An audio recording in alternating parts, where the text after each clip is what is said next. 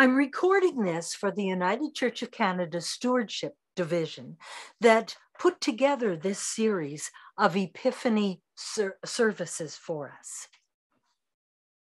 On this first Sunday in Epiphany, when we mark the baptism of Jesus, let's consider what we believe about baptism. First and foremost, baptism is about affirmation. To affirm means to state positively or assert truth, the truth about someone and about our relationship with them. To affirm is to ascribe or give value. Baptism is about the affirmation that there is something sacred about life and that a piece of that sacred goodness is found deep within us. It acknowledges a new beginning, as did the birth of Jesus.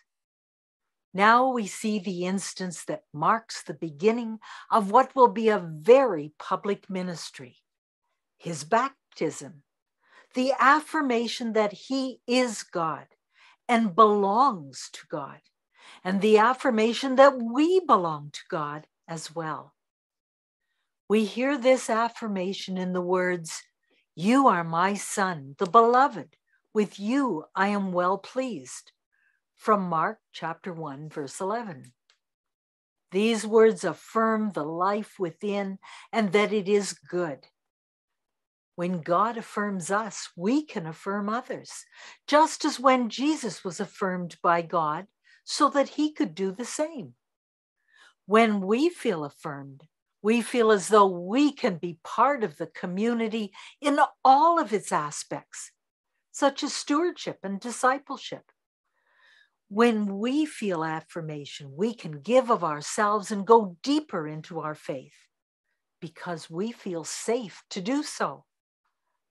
The truth is that we all long for affirmation, but too often it seems that it comes too late after we feel separated after we've struggled, after we've lost, or as if we need to prove ourselves to receive affirmation.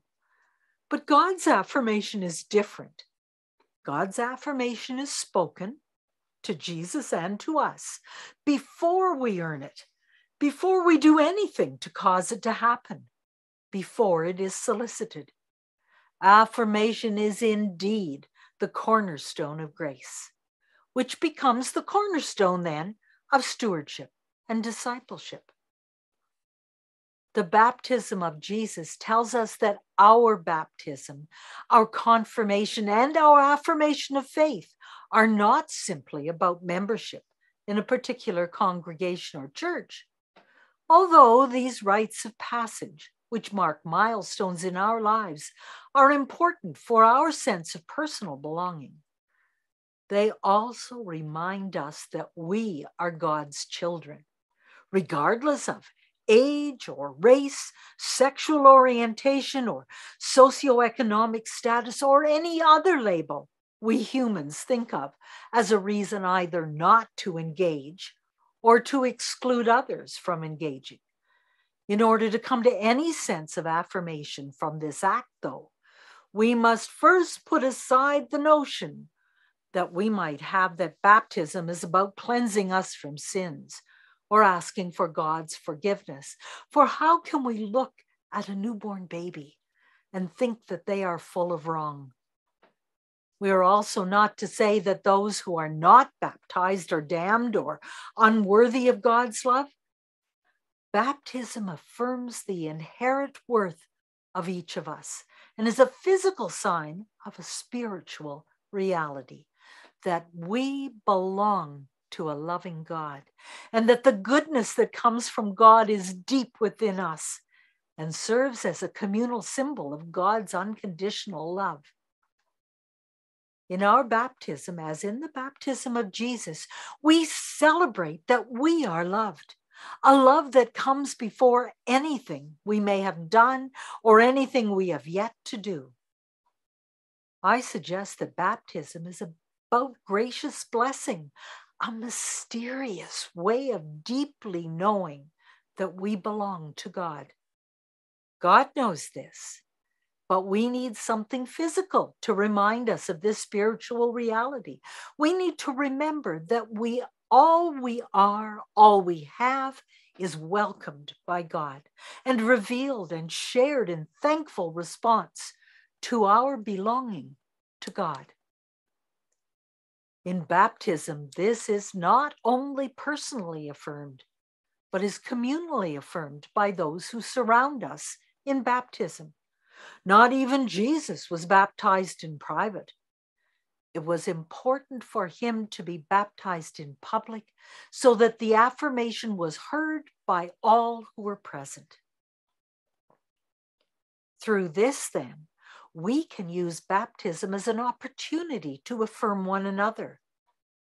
Before we are asked to, before a good action is done, before we've been able to form a judgment on whether or not it is deserved, we can affirm each other because God has already affirmed us.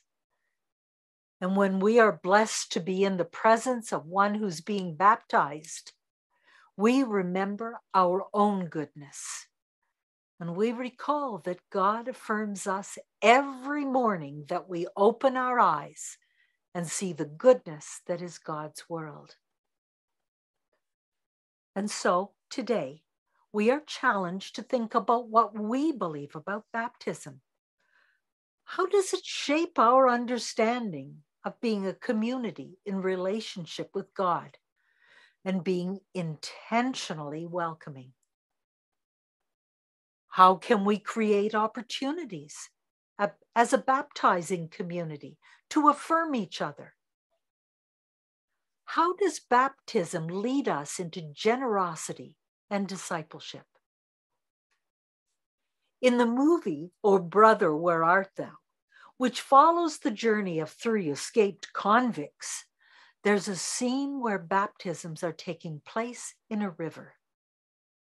The men who have broken out of prison figure that they've done so much wrong in their lives that baptism will give them a new beginning.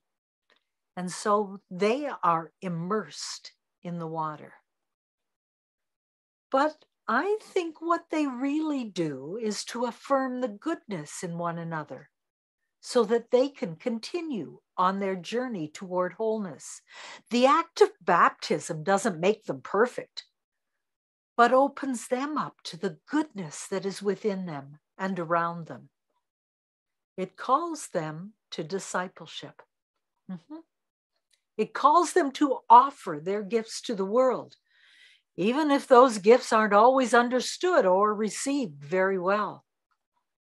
The song that is sung during this scene down to the river to pray is an invitation to walk with God and to invite others to that journey of stewardship and discipleship that has the power to transform people and systems. As a baptizing church loved and affirmed by God, we too are called to that journey of stewardship and discipleship to generously share what we have in gratitude to God. May it be so. Amen and amen.